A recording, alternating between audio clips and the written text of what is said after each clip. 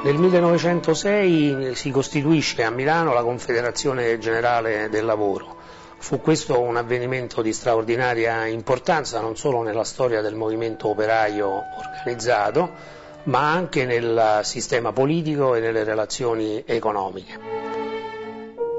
Il primo segretario è Rinaldo Rigola, eletto nonostante la sua cecità, che rimane a capo dell'organizzazione fino al 1918. Convinto assertore che la funzione del sindacato è quella di risolvere i problemi concreti ed immediati dei lavoratori, in piena autonomia dai partiti politici. Per quello che riguarda il movimento operaio organizzato occorre ricordare che le prime forme di organizzazione sindacali, le leghe di resistenza, eh, si erano costituite già alla fine degli anni Ottanta e da esse erano nate le Camere del Lavoro e per altri versi le Federazioni Nazionali di Mestiere.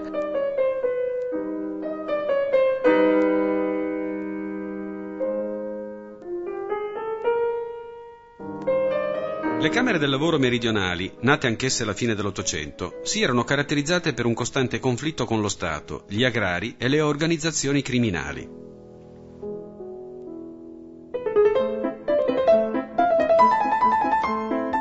Il Partito Socialista era nato a Genova nel 1892, dopo l'esperienza del Partito Operaio Italiano, che si era costituito a Milano agli inizi del 1880 ed era stato sciolto d'autorità nel 1886. Una delle caratteristiche più significative della storia del movimento operaio italiano è costituita proprio dall'affermazione di un tessuto di organismi sindacali che avvengono in settori economici e in settori produttivi che stanno ancora a cavallo tra l'agricoltura, la manifattura, l'edilizia, i servizi infrastrutturali quali le ferrovie, i lavori domestici, i lavori delle grandi aree eh, urbane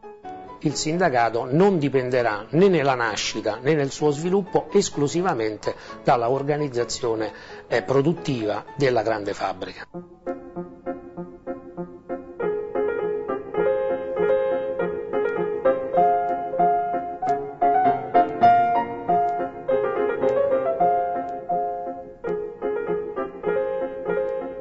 È proprio all'inizio del secolo che questo tessuto di associazionismo sindacale, federale e camerale raggiunge il massimo della sua diffusione e il massimo delle conquiste, soprattutto sul terreno economico e rivendicativo. Un posto di assoluto rilievo naturalmente anche in Europa, unico, lo ha la nascita della Federazione dei lavoratori della terra